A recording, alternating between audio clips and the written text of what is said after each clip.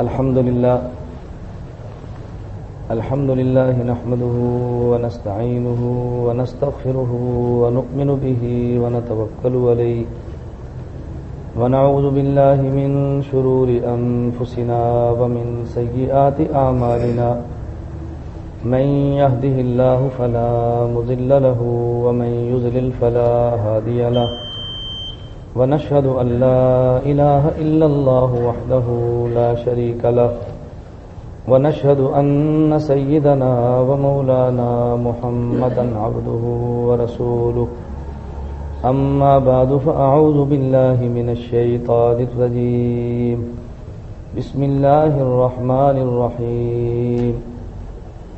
قل إن كنتم تحبون الله فاتبعوني يحببكم الله ويغفر لكم ذنوبكم والله غفور رحيم وقال النبي صلى الله عليه وسلم حبب إلي من دنياكم ثلاث الطيب والنساء وجعلت قرة عيني في الصلاة وقال النبي صلى الله عليه وسلم من تمسك بسنتي عند فساد أمتي فله أجر مئة شهيد وقال النبي صلى الله عليه وسلم من أحيا سنة من سنتي أميتت بعدي فقد أحبني ومن أحبني كان معي وفي رواية كان معي في الجنة وقال النبي صلى الله عليه وسلم فإنه من يعش منكم بعدي فسيرى اختلافا كثيرا.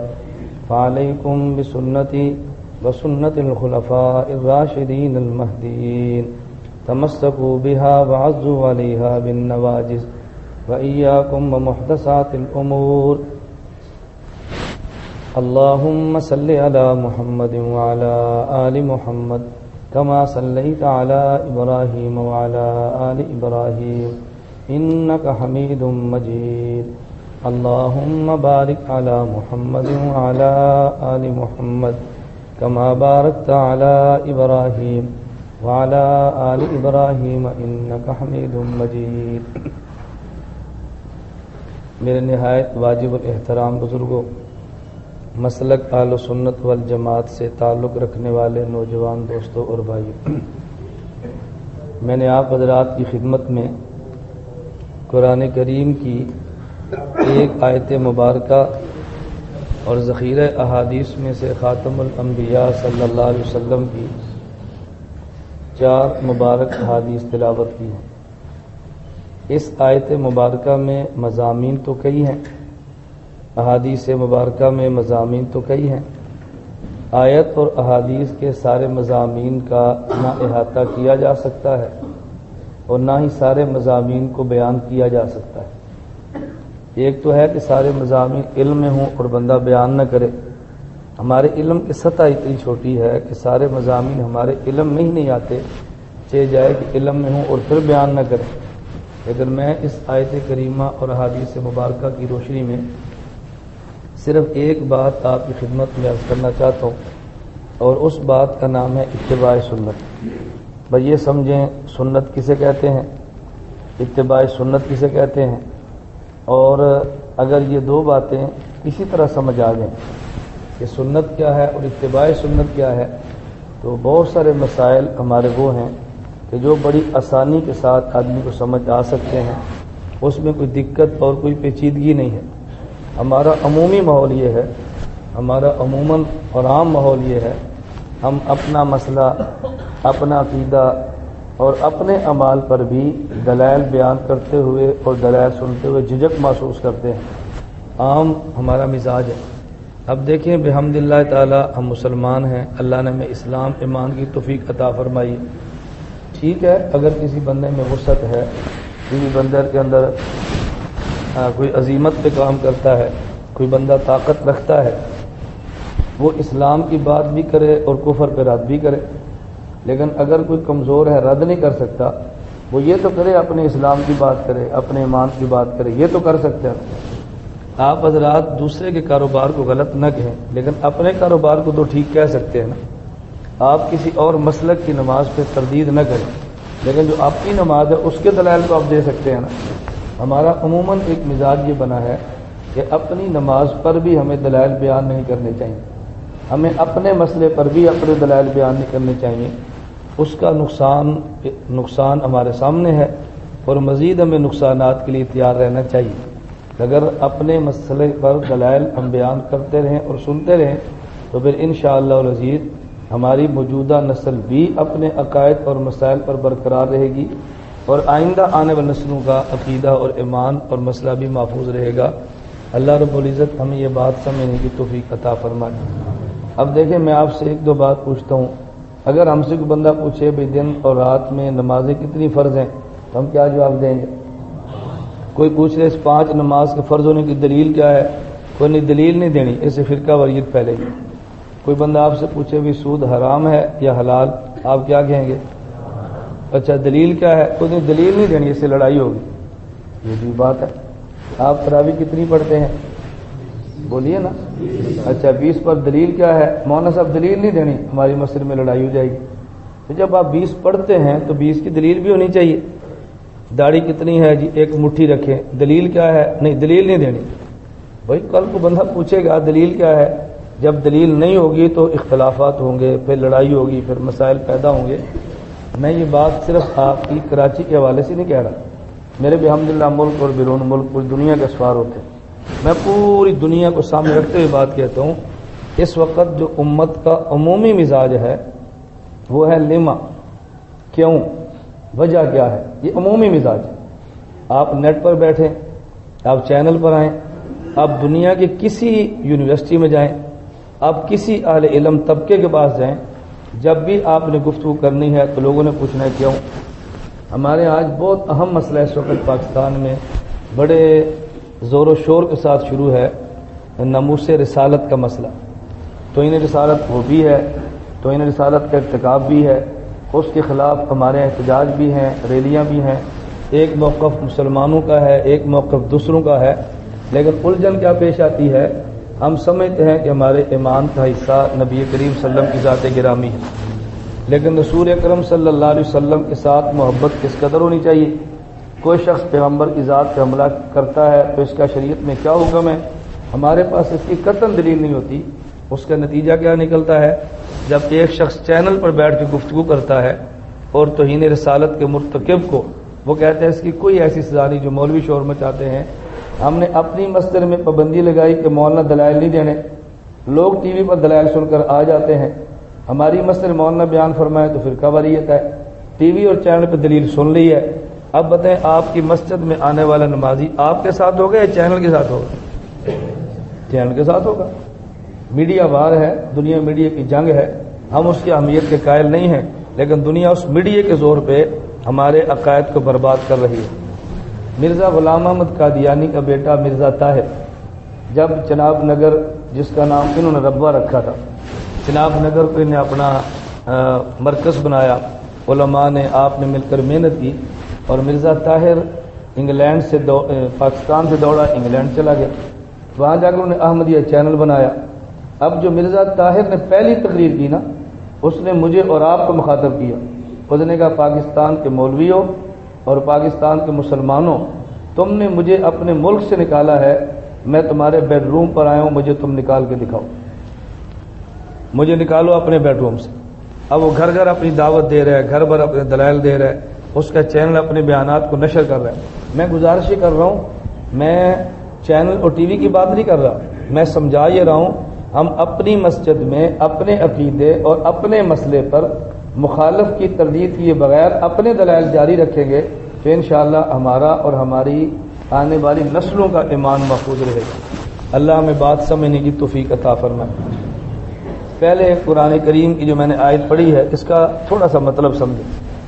کیونکہ وقت بہت کم ہے اور مجھے یہی خدشہ ہے کہ اس وقت میں ایک بات ہی پوری نہیں ہونی اور ٹائم پورا ہو جانا ہے۔ ہم چونکہ وقت اسی حساب سے آتے ہیں کب آنا ہے، کب جانا ہے۔ پھر ہمارا مزاج ہے آتے دیر سے ہیں، جاتے وقت پر ہیں۔ مولوی صاحب ٹھیک پونے ایک بجے بیان شروع کر دیں گے۔ آپ نے کہنا سوا ایک بجے ختم بھی ہونا چاہیے۔ اگر پانچ منٹ اوپر چلے گئے تو کہیں گے مولانا ڈسپلن کے پابند نہیں ہے یعنی جو وقت پہ آئے وہ پابند نہیں ہے اور جو آدھا گھنٹہ لیٹ ہے وہ ڈسپلن کا پابند ہے۔ یعنی کیسا عجیب ہم نے نظام بنا رکھا ہے۔ اللہ میں بات سمجھنے کی توفیق دی قل ان کن تم تو اللہ۔ میں بڑے اختصار سے آیت کریم کی تفسیر کرتا ہوں۔ اللہ رب العزت نے فرمایا، اے میرے پیغمبر، آپ اعلان فرمائیں، ان کن تم تو اللہ، اگر تم اللہ کے ساتھ محبت کا دعویٰ کرنے میں سچے ہو۔ ترجمہ یہ نہیں، اگر اللہ کے ساتھ محبت کرتے ہو۔ اگر اللہ کے ساتھ محبت کے دعوے کرتے ہو اور محبت کے دعوے میں سچے ہو فتبعونی اس کا حل یہ ہے کہ تم میرے پیغمبر حضرت محمد صلی اللہ علیہ وسلم کی اتباع کرو۔ نبی پاک وسلم کی اتباع کرو۔ اب یہاں دو باتیں سمجھیں۔ پہلی بات یہ محبت کا دعویٰ اللہ سے ہے۔ تو اتباع کس کی کرو؟ کیوں؟ بھائی جب اللہ سے محبت کا دعویٰ ہے تو اللہ کی بات مانو نا۔ محبت کا دعویٰ مجھ سے ہے۔ کھانا میری اولاد کو کھلاؤ۔ اگر مجھے اچھا سمجھتے ہو تو دعوتیں میرے دوستوں کی کرو۔ اگر مجھ سے پیار ہے تو ہمارے فلاں کا خیال کرو، عجیب بات ہے۔ اس نقطے کو سمجھیں۔ پر میں ان کن تم تو حبون اللہ اگر تمہیں مجھ سے محبت ہے، تو پھر میرے پیغمبر کی اتباع کرو۔ اللہ نے یہ نہیں فرمایا کہ تم میری بات مانو۔ یہ کیوں نہیں فرمایا؟ اللہ کی ذات کو نہ ہم نے دیکھا ہے، نہ اللہ کی ذات کو سنا ہے۔ اگر اللہ فرماتے، مجھ سے محبت ہے، تو میری بات مانو اب بندہ کہہ سکتا تھا، اللہ تیری بات ہم سنتے ہی نہیں، مانے کیسے؟ سنیں گے تو مانیں گے نا؟ اللہ نے فرمایا، مجھے نہ تم نے دیکھا، نہ مجھے تم نے سنا۔ میں نے ایسا پیغمبر دیا ہے تمہیں، جس پیغمبر نے مجھے دیکھا بھی ہے اور جس پیغمبر نے مجھے سنا بھی ہے۔ اور وہ اپنی بات نہیں کہتا، اس کی وجہ کہ وہ قاصد اور رسول ہے۔ اور قاصد ہوتا ہی وہ ہے جو اپنی بات نہ کرے، بلکہ اس کی بات کرے جس نے اسے بھیجا ہے۔ تو اس نے مجھے دیکھا بھی ہے، مجھے سنا بھی ہے۔ بات بھی میری کہتا ہے، وما کو انل ہوا ان ہوا اللہ یوہا زبان سے وہی بات کہتا ہے جو میں کہہ دوں۔ اس لیے اگر تمہیں مجھ سے محبت ہے، تو تمہیں ان کی بات ماننی ہوگی۔ ان کی بات مانو گے تو صرف یہ نہیں کہ تم مجھ سے محبت کر رہے تھے۔ یہ کم اللہ۔ پہلے محبت کا دعویٰ تمہاری طرف سے تھا، اب اعلان محبت میری طرف سے ہوگا پہلے دعویٰ محبت تمہاری طرف سے تھا نا؟ ہماری طرف سے اعلان محبت نہیں تھا۔ دعوی محبت ہے میرے پیغمبر کی بات مانو تو پھر ہماری طرف سے اعلان محبت ہو۔ اور لفظ اللہ رب العزت کون سا لائے ہیں؟ فتبیونی اتباع۔ میں کہتا ہوں اتباع کا صحیح معنی کراچی والے نہیں سمجھتے۔ اتباع کا صحیح معنی امجاتی سمجھتے۔ آپ کو کہ جی وہ کیوں؟ اتباع عربی زبان کا لفظ ہے۔ اتباع طبیعت سے بنا ہے۔ اور طبیعت کہتے ہیں جانور کے اس چھوٹے بچے کو جو بغیر سوچے اور سمجھے اپنی ماں کے پیچھے دوڑے۔ اب اگر تو کبھی آپ نے بکری اور بکری کے بچے کو دوڑتے دیکھا ہے، پھر تو مانا سمجھ آئے گا۔ اگر نہیں دوڑتے دیکھا تو پھر کیسے سمجھ آئے گا؟ یہ تو ہم بکریوں، بھینسوں اور گائے والے سمجھیں گے نا۔ میں اس لیے کہہ رہا تھا کہ ہم سمجھتے ہیں، اب یہ نہ فرمانا ہماری تو ان کی اتہاس اٹھ کر آیا اور ہمیں کہتے ہیں تم نہیں جانتے۔ نہ بھائی، کیونکہ ہم بکری چھتریوں والے ہیں، اس لیے یہ بات ہمیں زیادہ سمجھ آئے گی اور فیکٹریوں والی بات آپ کو جلدی سمجھ آئے گی۔ فت طبعونی اتباع طبیعت سے ہے۔ طبیعت ان جانور کے اس معصوم بچے کو کہتے ہیں جو بغیر سوچے اور سمجھے اپنی ماں کے پیچھے دوڑے۔ وہ یہ نہ دیکھے ماں کیوں جاتی ہے، وہ یہ دیکھے کہ ماں کدھر جاتی ہے۔ میرے لفظوں پہ غور فرمانا، وہ یہ نہ دیکھے کہ ماں کیوں جاتی ہے، وہ یہ دیکھے کہ ماں کدھر جاتی ہے۔